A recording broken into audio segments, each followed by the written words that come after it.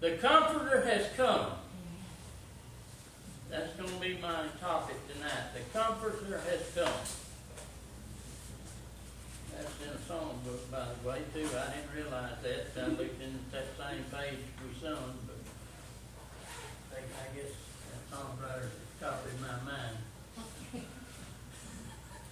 But anyhow, the scripture reading's coming out of First Acts tonight. We're going to read a few verses. And I'm going to par- uh, paraphrase a little bit. But anyhow, it says, uh, we're going to start verse 2. Until the day in which it is taken up, after he had thought the Holy Ghost had given commandments unto the disciples whom he had chosen to whom also he showed himself alive after his passion by many inflammatory proofs, being seen of them forty days, and speaking of things pertaining to the kingdom of God. And being assembled together with them, commanded them that they should not depart from Jerusalem, but wait for the promise of the Father, which said, He yet hath heard of me. For John truly baptized with water, but you shall be baptized with the Holy Ghost not many days in. When they therefore were come together, they asked him, saying, Lord, will thou at this time restore again, again the kingdom of Israel? And he said unto them, It is not for you to know the times or the season which your Father hath put in his own power. But you shall receive power. After that, the Holy Ghost is come upon you, and you shall be witness unto me both in Jerusalem and all Judea and in Samaria, and unto the utmost part of the earth.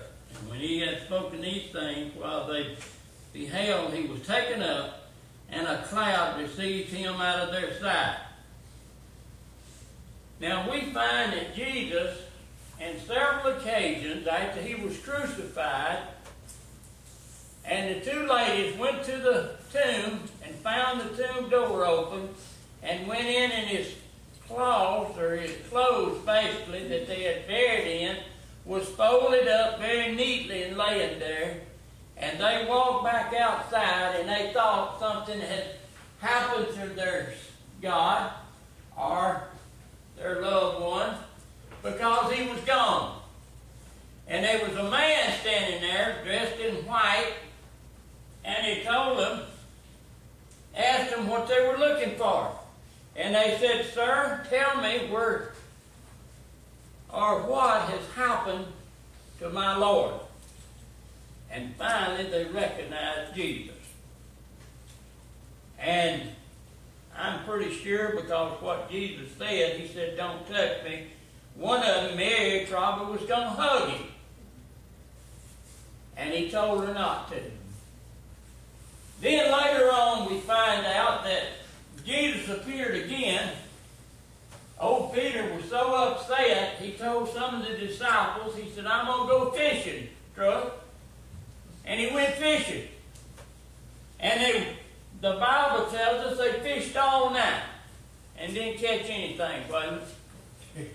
Have we ever done that once or twice?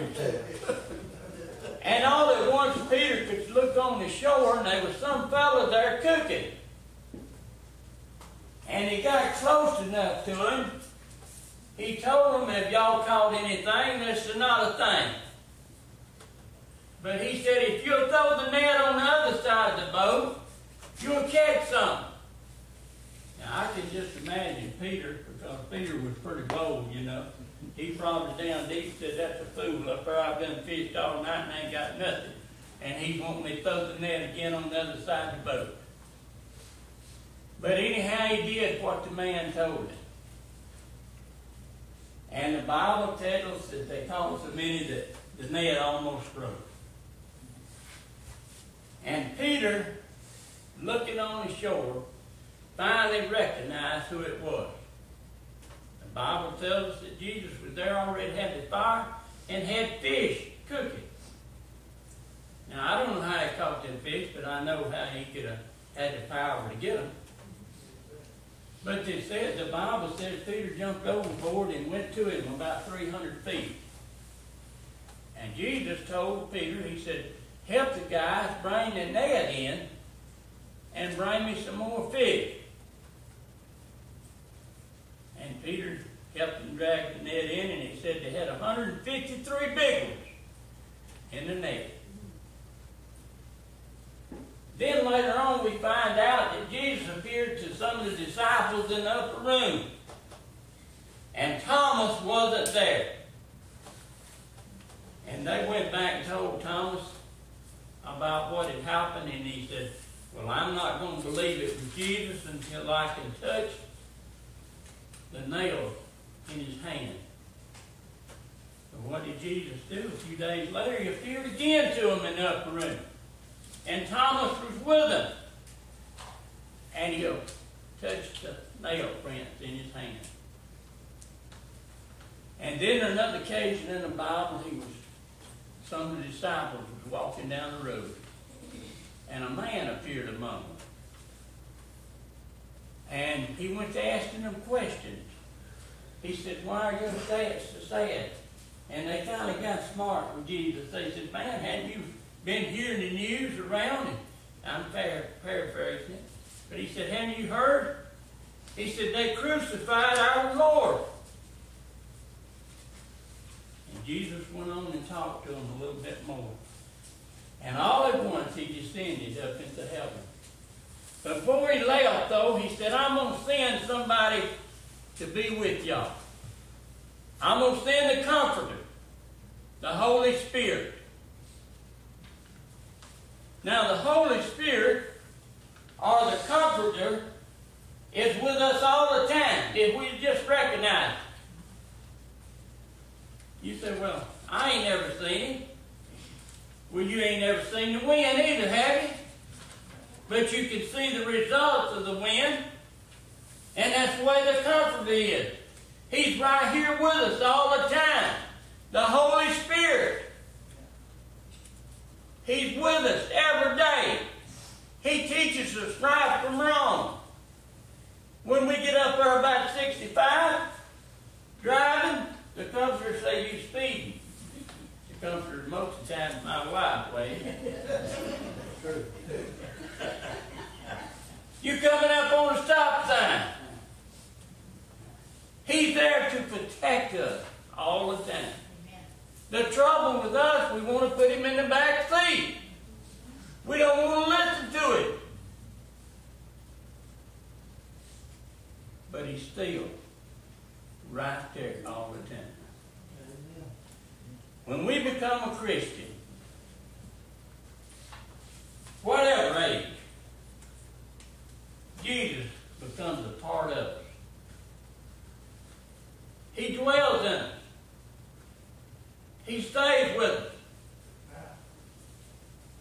But now, where if we talk to him and acknowledge or not, that's a different story. But the Comforter is still with us. He sent him to protect us. He sent us, he sent him here to guide us right from wrong. We just have to let him take over. We have to let him be in our subconscious.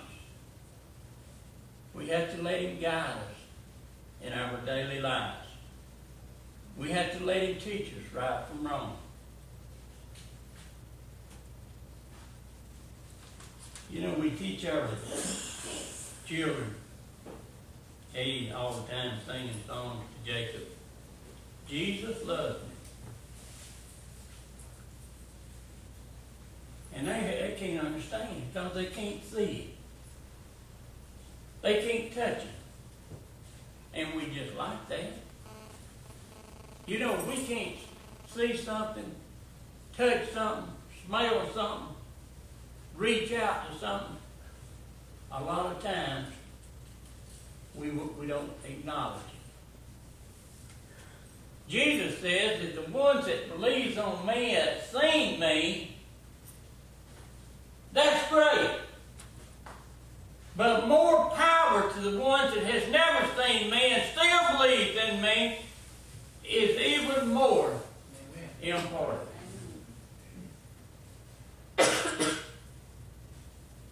the Comforter has come. See, Jesus knew that he couldn't stay on earth. The Bible tells us he descended up into heaven to be on the right side of the Father. But he still left us with protection. And that's